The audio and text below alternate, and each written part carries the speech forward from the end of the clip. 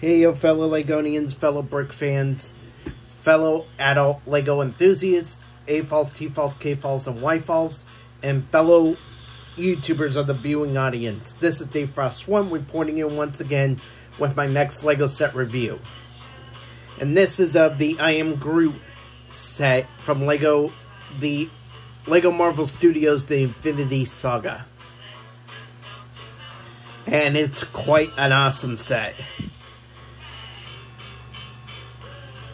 We get this name plaque which just says which just says I am Groot for all the information. Because that's all he ever said in the in the movies till the very end of volume 3 spoiler alert I'm not gonna say what he said because I don't even remember, but I know he said something different. And then there's this awesome mix volume one cassette tape on this side, and then on the other side it says awesome volume mix, awesome mix volume two. So that's an awesome little build, and there are a bunch of stickers and the only prints are on Groot.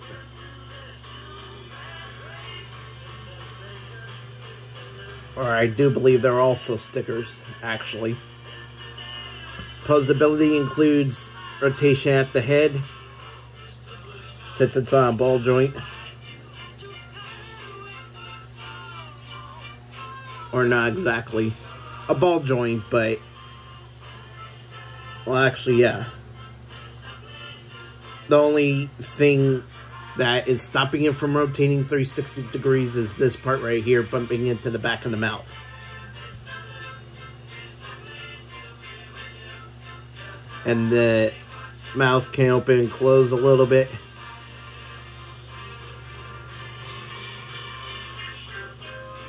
There are posability at the fingers, as well as the shoulder, elbow, which can which can only go so far because of this root piece. And there's rotation at the hand at the wrist. And that goes for the other side only it doesn't have the root part of it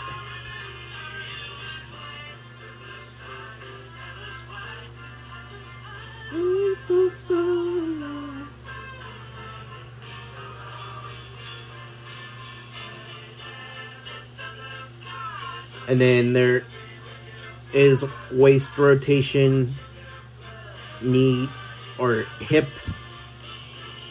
bendage, and that's as far out as it can go. Due to the Technic piece right here. And there is knee bendage. And that's all the rotation.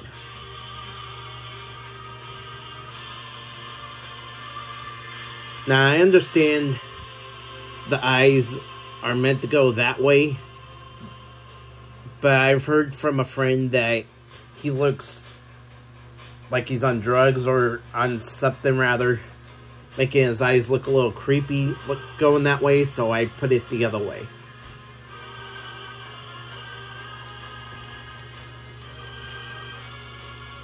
And it's a really good build all around little paperweight, as it were, if you want to put it in your office, that sort of thing.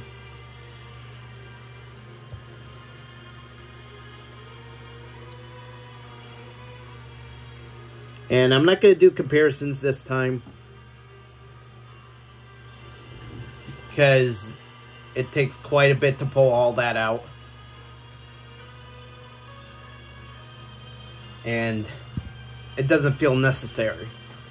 Um, I do hear that there's a buildable Groot set, which I think is a little more creepy than this Groot set.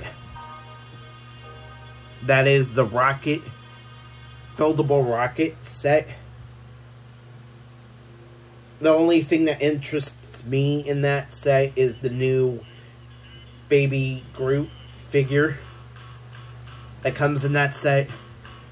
But I'm not interested in the rocket part of it because he just looks creepier than Groot does.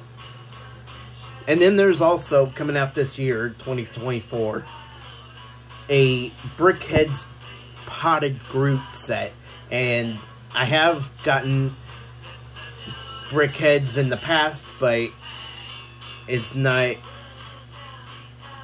It's just a sit on a shelf collection, and there's so many of them out. One, I don't need to purchase all the ones that I'm a fan of. I'm only, I'm only choosing to be interested in Potted Groot because I didn't know it was gonna be Brickheadz, and that's the only form of Potted Groot we'll ever get. Unless we actually get Potted Groot in this form, then I'll purchase that as well. But anyways, all said and done, that is all I have for this review.